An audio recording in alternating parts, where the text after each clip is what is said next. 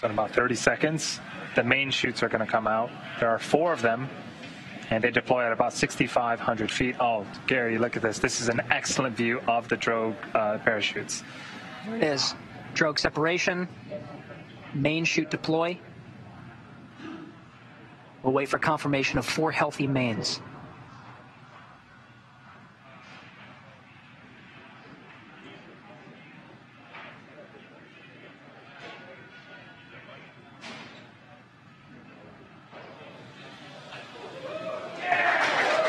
Dragon, visual four healthy mains, descent rate nominal. Copy. Great news. 1,000 meters. We copy 1000.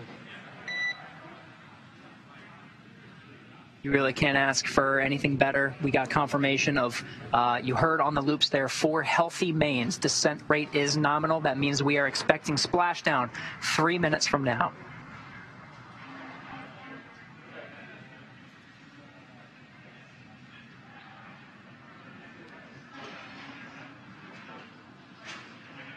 Visually, you can see one of the mains uh, taking slightly longer to inflate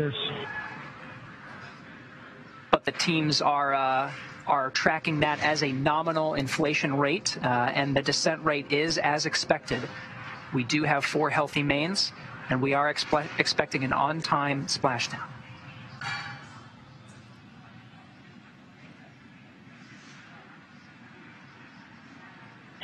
Six hundred meters. We copy six.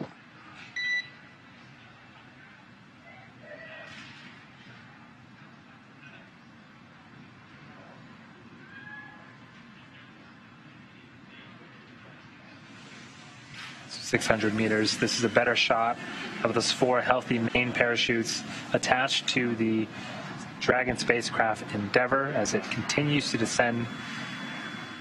Four hundred meters. The rate is as expected, 400 meters from splashdown.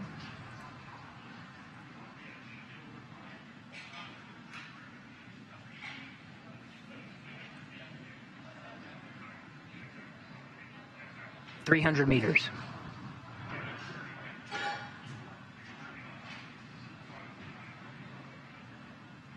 Two hundred meters. Brace. We copy 200 embracing. Standing by for confirmation of splashdown.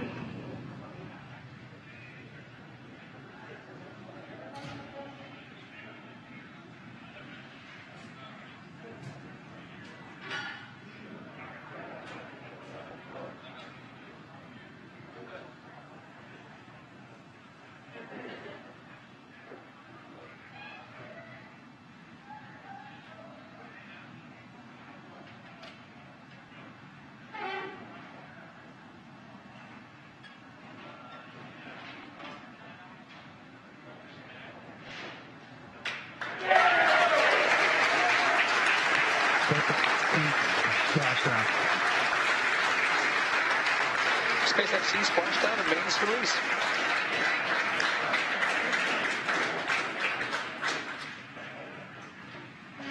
Copy. We heard the main. Endeavour, on behalf of SpaceX, welcome home to planet Earth. Hey, Chris.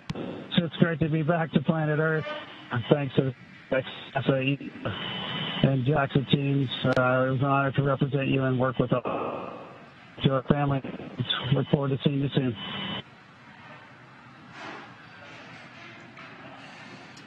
Splashdown confirmed at 7:33 p.m. Pacific, 10:33 p.m. Eastern Standard Time.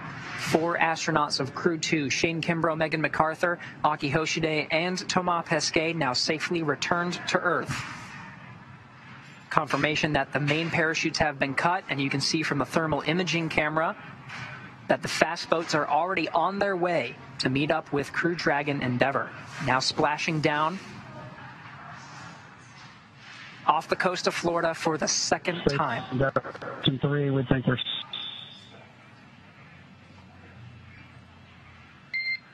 Shane, you're coming in broken, but we see stable one. Copy. Great news. Stable 1 is the configuration that we were hoping for. Stable 1 means it's in the ocean upright and as expected.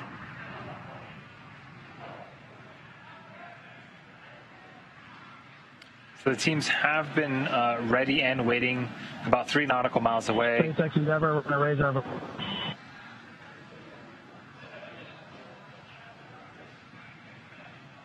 And Dragon, please repeat.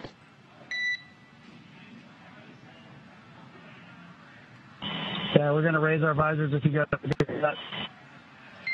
Hey, go for visor raise.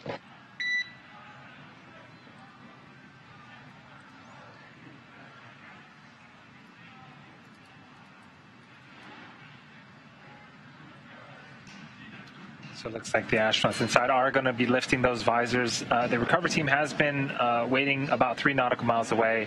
So it is going to take them a little bit of time to make their way to Shane, Megan, Aki, and Toma inside of Dragon. Uh, quick rundown of what is to come. Um, so about a minute and a half after uh, splashdown, uh, Mission Control here in Hawthorne will give the go for safe approach.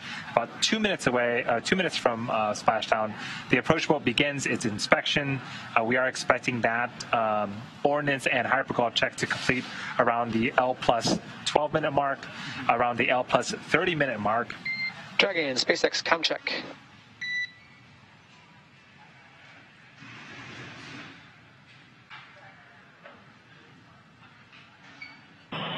Endeavour has you loud and clear, SpaceX. We have you loud and clear as well. We stopped the boat. We have you much better now.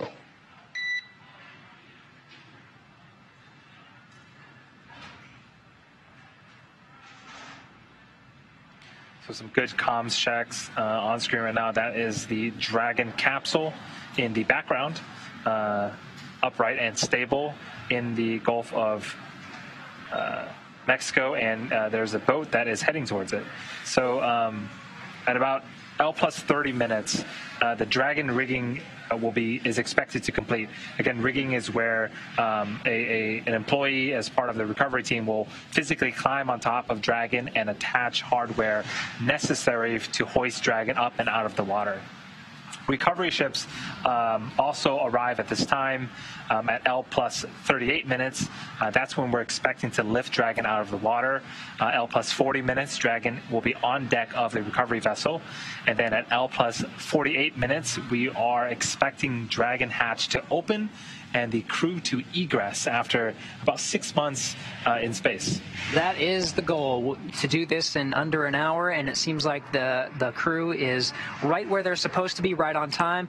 We're getting thermal images of uh, the uh, fast boats out near the Crew Dragon Endeavour in the uh, wonderfully smooth waters of the Gulf of Mexico, as predicted, which is fantastic. Um, you can see there's two boats that are out towards the recovery vessel once we uh, get a, a, smoother lock on the vehicle itself. One of them collecting the parachutes, uh, the other uh, doing some of the rigging that you were talking about, Andy, which is uh, super critical to the next series of steps. Um, Dragon, SpaceX's go for recovery personnel to approach. Expect personnel alongside momentarily. Okay, copy that. We're ready.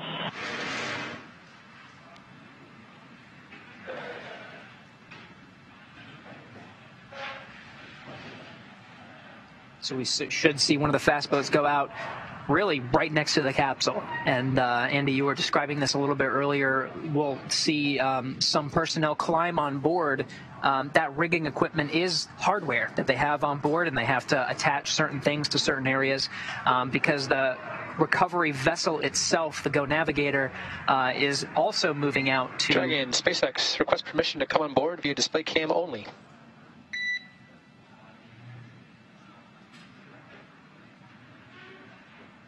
You're welcome on board on the display cam, SpaceX. We copy. Thanks, Shane.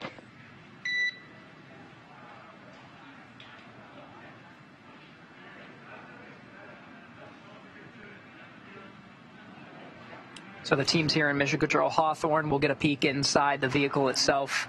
Um, watching over their shoulder. The the crew themselves really uh, are just in a waiting position. Um, their seats were rotated uh, for chute deployment and for splashdown, uh, so they're in a slightly more upright position. Although they're not completely upright, it just helps to help them to brace. Uh, you heard that a couple of times over the Dragon the Ground calls, brace for those chute deployments and for the splashdown itself. Uh, but really, they're in just a waiting posture at this point as the uh, recovery teams do their job. It'll take the Go Navigator recovery vessel, which we're getting some of the images from right now, um, the thermal images. Uh, it, it, takes it quite a bit to get out to the capsule itself, about 30 minutes, but, which is why we have the fast boats. Fast boats doing a lot of the uh, work ahead of time to prepare it so that really when the Go Navigator arrives right next to the spacecraft, it is ready to hoist onto the recovery vessel and onto the Dragon nest. You can see that uh, each of the boats are outfitted with uh, spotlights to make sure that they can, again, do all of their functions uh, properly as this is a nighttime recovery out on the East Coast. But it looks like they have plenty of lighting. And this is the second time that this particular capsule has landed. Right. Um, so this this capsule Endeavour was used as part of the demonstration two mission last year, uh, flying Bob and Doug, and it has splashed down and been recovered once before. So uh, this is not its first rodeo. Really, a testament to uh, the capability of these American spacecraft that are rotating crews to and from the International Space Station as part of these expeditions. It is truly an international team. From the camera views that you're seeing right now uh, on board the Go Navigator is uh, teams representing NASA, SpaceX, European Space Agency, and the Japanese uh, exploration, uh, Japan Aerospace Exploration Agency. All of them on board. Uh, truly an international uh, government and commercial joint effort to make something like this possible.